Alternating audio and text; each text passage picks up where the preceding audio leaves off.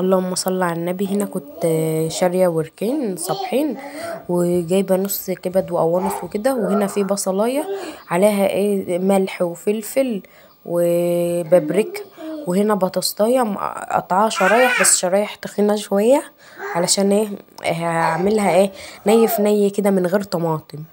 هنا ده يعني ده اللحوق اللي عندي اللي أعرف أحط فيه يعني الكمية الصغيرة دي. بصل نقطة بسيطة بس زيت تمسحي بيها الصينية وممكن لو مش عايزة عادي. هنا عشان البطاطس تشرب من الخلطة وكده فبحطها في بعض. هي كدا كدا هتشرب منها. بس شوفتوا يعني عريضة شوية بساط يعني مش منها شرايح رفيعة خالص. اللي هي تستحمل هنا كنت رصيتها.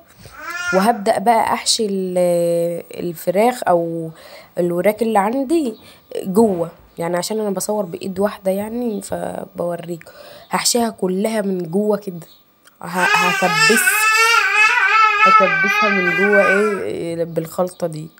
واللي هيتفضل هحطه أيوه زي كدا اللي بيتفضل حطيته إيه في الجناب وعليها وكدا أهو يعني خدتلي برضو كمية حلوة. وكنت كل ما تبقى في الفرن ببص عليها وبحطلها مثلا إيه كوباية مية.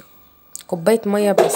عشان أنا ببقى عايزاها بصوص زي كدا أشوف مثلا الأطفال بتشرب عليها الشوربة دي يعني بحطلها عليها مثلا رز مش عارفة إيه.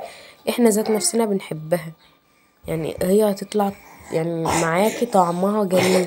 دي وصفة بقى أجدادنا وستاتنا والحاجات دي اللي هي إيه خير زمان بقى.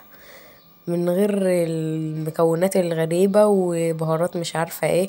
هي بسم الله ماشاء الله طلع طعمها زي العسل وبألف هنا علينا وعليكم. أشوفكم في فيديو تاني.